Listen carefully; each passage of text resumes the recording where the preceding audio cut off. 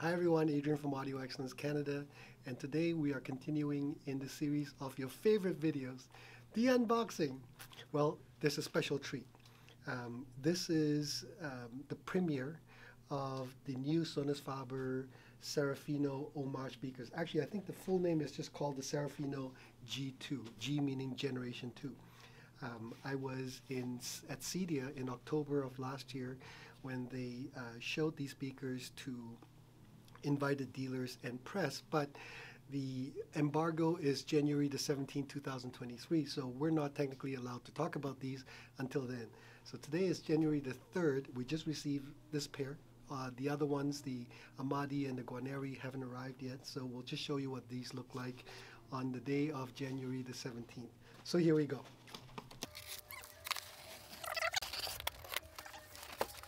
By the way, Tristan, come around this back. I want to show you something. This show you how new this is. Uh, look at this. What does it say? Serial number 12. This is the 12th pair that came off the factory. Uh, assuming that each pair has the same serial number.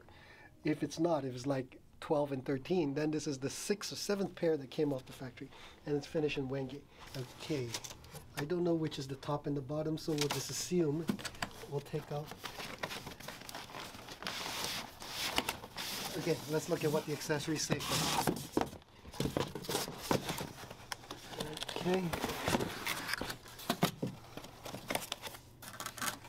Oh, looks like it's missing a manual.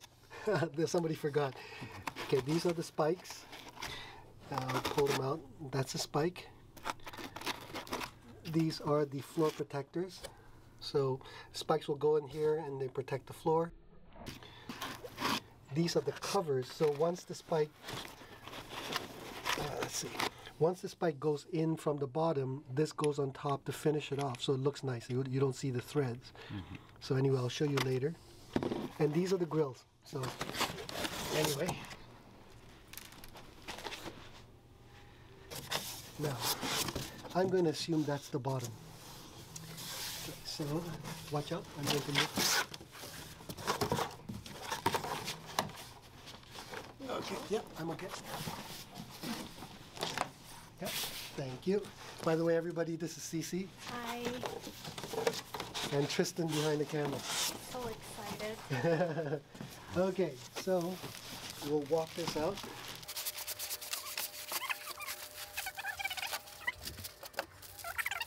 So the spikes go like this.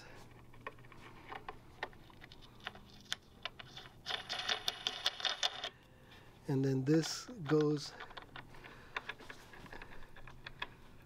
like that. And there you go it's finished. And we'll do a bunch of these in a moment. Just want to show you what it looks like. So I don't know if the light shows how beautiful the finish is. Maybe we'll walk it over.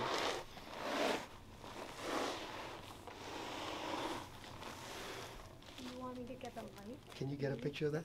Does it look good? Yeah it's stunning. The gloss on this finish is incredible. Multiple layers of finish, hand sanded, finish, hand sanded over and over and over again to get this kind of a finish. And you have the maple inlay, right? That's beautiful. Uh, the other thing, while we've got this, uh, Sonus Faber in, um, I think from the Nova series on up, has something called the exoskeleton or exoskeleton as they call it, I think. At the bottom you have a solid piece of metal. At the top, when I take it off, you'll see also a solid piece of metal. And then in the back, you have this metal structure, this rib, which serves as not only the port for the air to come out, which you can see right there. You see all the horizontal holes? But also this serves as a brace. So the entire structure works like a clamp. This cabinet is made of wood. So when you clamp the wood down, you also reduce the resonance and you also move the resonance to a higher frequency to a point where your ear is not quite as uh, bothered by the uh, wood resonance. And this is done on purpose. Sonus Faber has always believed that wood gives music a more natural feel. So they've chosen to use wood instead of some other exotic materials like what Wilson would use or what Magico would use. They've always chosen to use wood. And so uh, this is their way of dealing with wood resonances. And while we're here, let me show you also some of the other special things that Sonus Faber does.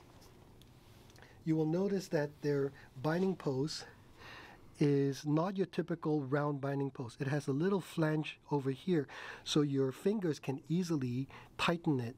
You see that? Because you've got something to tighten against, right?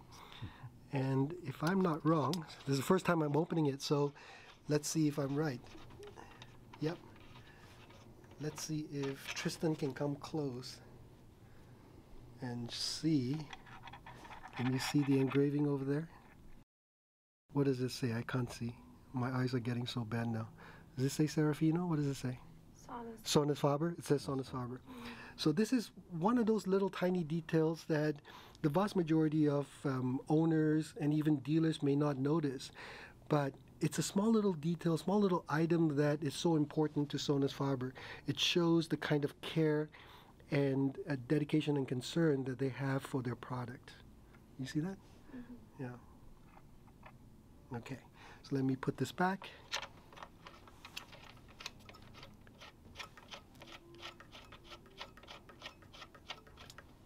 Okay, ta-da! So this is the new uh, aesthetics for the G2 series, or in this case, the Serafino G2. The top has this little logo SF. Before it was, some people called it the um, uh, a cigarette holder. I think we have a pair of Amatis in the back. I can show you what it looks like. The new ones are much cleaner. Um, I think aesthetically quite a quite a bit more beautiful.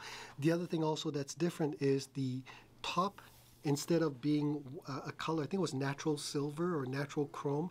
Now it's got this matte uh, gray, which I like. It's a bit of a bit more subdued, but I really like that. Same with the bottom. You'll notice that the bottom has got the same gray finish, and then of course you got the chrome feet as well. Uh, my understanding is that the uh, all the drivers are new, so you have new woofers. Mid-range driver, you'll notice that the phase plug is completely different than the old series. The tweeter, I don't know that much about as yet, but we'll find out about it soon enough. And while we're at the tweeter, let me, for those of you who don't know, point out um, a unique innovation that uh, Sonus Faber has received a worldwide patent on. You'll notice this arch here, this metal arch that almost looks like a bow.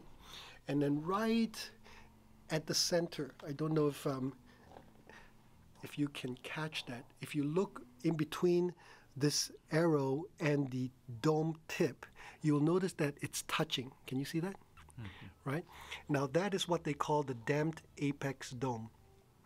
Sonus Faber discovered many, many years ago that if they had something that could just be in contact with the apex of the dome, it would solve a lot of the problems that soft dome tweeters have. Number one, the high frequency distortion when, when tweeters, soft dome tweeters play at very high frequencies, they start distorting. By having that right touching at the apex of the dome, it stops or minimizes the distortion very substantially. It also allows the soft dome tweeter to go up in the high frequencies much higher. So typically, soft dome tweeters without any kind of um, modification or without any kind of um, uh, addressing of those issues start rolling off fairly significantly from about 12, 13, 14,000 uh, cycles. In this case, it goes all the way up to about 32, 33,000 cycles. That's something that uh, Sonus Faber has, as I mentioned, a world patent on.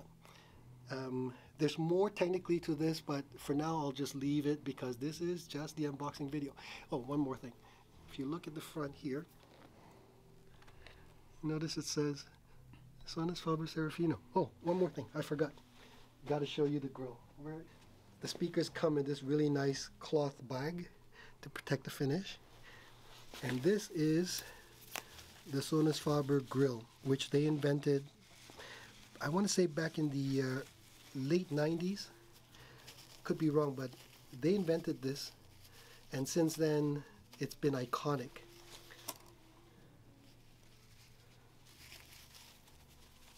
So, unlike a normal speaker, which basically has a frame with a cloth grill over it, so what you just basically see is just cloth, this is a beautiful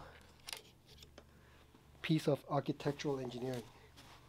While it does not protect fingers from touching the drivers, Um, it serves a beautiful purpose in that you know you're not supposed to touch something, and at the same time, it looks beautiful and elegant. There. So it works like the strings of an instrument.